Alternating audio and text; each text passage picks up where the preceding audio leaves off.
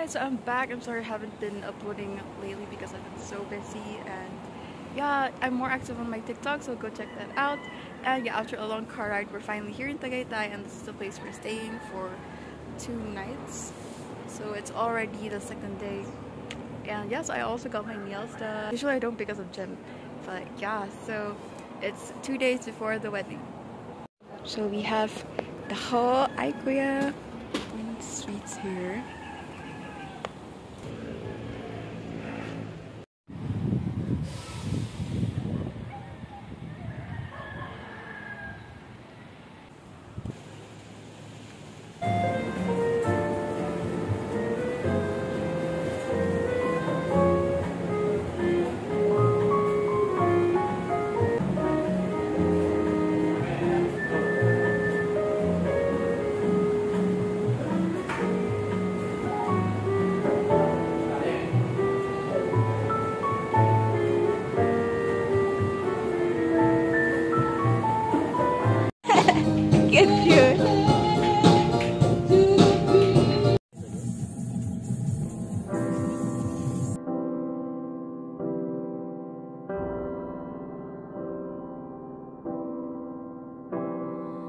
This is a village in Tagaytay Highlands and this is where we're staying at.